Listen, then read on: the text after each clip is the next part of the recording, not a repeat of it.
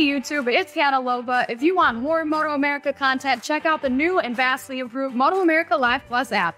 It's the only place you can catch all the race action in one place all season long. Click the link in the description below. Starting grid, of course, has the way they qualified. It's Cameron Beaubier. That was a brand new track record. Sean Dylan Kelly broke the track record as well. Cameron Petersen in third. Yeah, and then we have Herrin, Bobby Fong, and Paasch coming from row number two. Great qualifying for Brandon Paasch. JD Beach, Gagne, and Baz with Xavi Fores, Ashton Yates, and Bryce Prince back there on row number four. Then we have Ezra Beaubier, Benjamin Smith, and Danilo Lewis. Nolan Lampkin, Andrew Lee, and Dion Campbell. Richard Kerr, Flinders, Arango, Giannato, Sierra, and Bobby Davis will roll round out row number eight. And then we have Manny Segura back there. So 20 laps scheduled for Steel Commander Superbike race number two. Lights are off and we're away. And it looked like a clean start this time from the front row. As Cameron Beaubier leads him down into turn number two. Is anybody going to try to make a bid as Herrin tries to go up the inside? No, it's going to be Cameron Petersen who slots himself into second place. And Bobby Fong there in fourth. Yep, SDK follows right in behind the 50 of Bobby Fong. So right now, you know that Cam Petersen's got pace. Herrin's not going to be worrying too much right now. Cam Petersen's right where he wants to be. He wants to latch onto the back of the six, put some pressure on him, but more importantly, not let him get away. So then halfway through this race, you heard Cam Petersen say he feels like he's got some really good race pace at the end. So if they can kind of not let this BMW run away from them early, then uh, there might be a chance there late in the race for them to do something with him.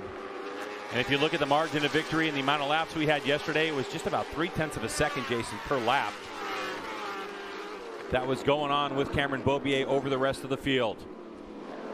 Yeah, and you can see here, Beaubier makes a small mistake at the top of the corkscrew in the sense that he was just a little bit wide as they started coming down the hill, and uh, just a tiny bit.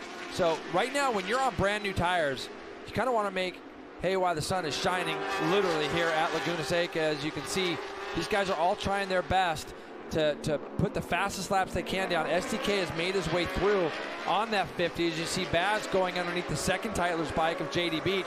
Baz moves over to defend that position. But Sean Dylan Kelly goes through on Bobby Fong. You saw Gagne trying to do the exact same thing. Herrin now makes a big oh. bid on Cam Petersen. So this is Herrin's plan as well. He does not want to let Beaubier get away. And you see somebody's down there in the background. Can't tell exactly who that is, but it's going to be one of our front guys because you can see the gap. It is 96 of Brandon Paasch, and we have not seen him do that hardly at all this year. So uh, walking a little bit gingerly. The Vision Wheel and 4XR Suzuki rider down after a really good qualifying here, but now you can see Josh Herrin really pushing hard on the Warhorse HSBK Racing Ducati Panigale V4R. Initially, when he made the pass on Cameron Petersen, there was about half that gap. So right now, Josh Herrin is on an absolute tear to close the gap to Cameron Beaubier. Beaubier has no idea what's going on behind him. Well, he'll know. You know, he's going to see it because yesterday, as SDK now makes a great pass on Cam Petersen up into the corkscrew. So now we got BMW first and third. He had a plan today, as did the rest of them, not to let this guy get away. Hannah for Cameron Beaubier. When I talked to him this morning, the tire decision was still up in the air after trying that R8 little harder compound tire there as Josh Herrin's trying to get around Beaubier. He said the R7 is probably the one that he's going to go with, and he did decide to do that ultimately for the race. But after such a difficult mid-season here for Cameron Beaubier, as Josh Herrin goes up the inside for the lead, but he couldn't make it stick. Cam Beaubier back out front. Cam said it just feels good to be back in the race weekend routine and find a good flow. And that's what Josh Herrin was trying to do, actually, is disrupt the flow. And just a little bit of a mistake. But Herrin right now is looking very aggressive and very racy right now as he's going to try to close that gap again. Here, I think SDK's got some good speed though as well. You can see he's just going to dive down to the apex. He he knew he couldn't make it and uh, he just lets the bike run out a little bit. Does a really nice job of squaring up turn two inside of SDK going into three. But here it is again. This time he's got the apex speed controlled a lot easier that time for Herrin, and he will lead this lap coming across the line. And now we've got a fight, Greg. Four guys, three different brands up in the front and they've been able to keep the number six at bay and now even control the pace. I mentioned at the oh, top of the show as heartbreak for the 45 into the pits for the Attack Performance Progressive Yamaha team on such a good weekend. To Laguna Seca regrouped. And uh, you can see what he's done. Bobby Fong here, too, as we see a big crash. This is going to be down, looks like turn six. That's Bryce Prince, I believe it's Bryce Prince. No, it's uh, Dion, Deion Campbell. Campbell. Sorry. Dion Campbell Out of 13th on a, place. on a BPR. Bryce Prince Racing R1. And uh, we've enjoyed having Dion Campbell back in the paddock this year. And he's been doing really good in stock thousand and getting better each round.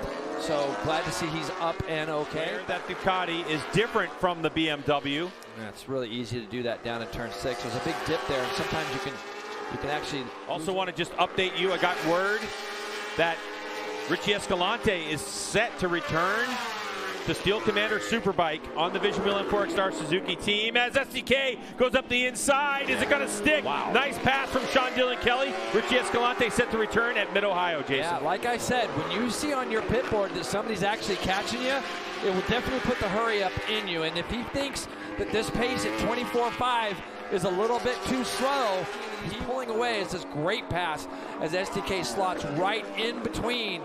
Only a bike width apart between Herrin and Beaubier. Sean Dylan Kelly finds that pass.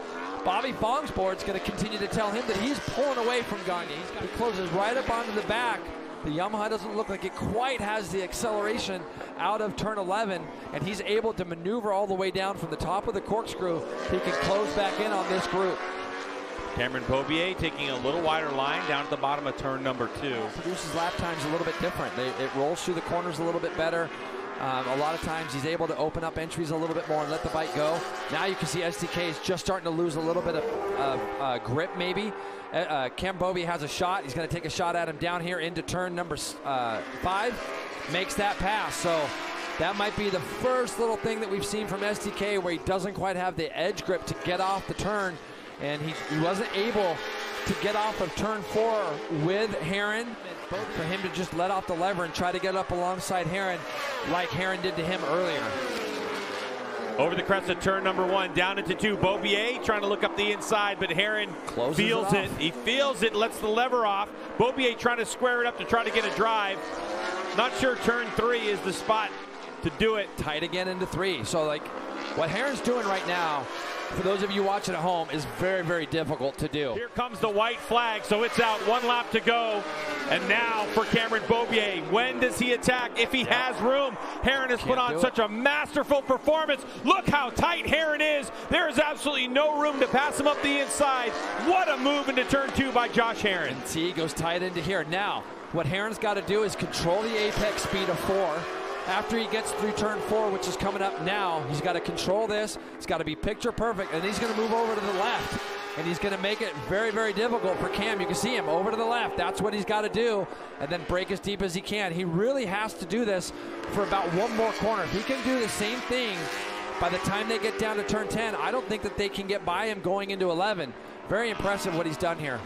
Herrin talked pre-race about his experience here at WeatherTech Raceway Laguna Seca. It's paying off into the corkscrew. He's going to go to the left and back to the right. Beaubier trying to go around the outside, maybe make a move to square it off and try to get a run on him down the hill. But look how hard Herrin is on the gas. All the while, SDK is there in case this ends up in tears between the top two. But Herrin gets a really good drive down the hill.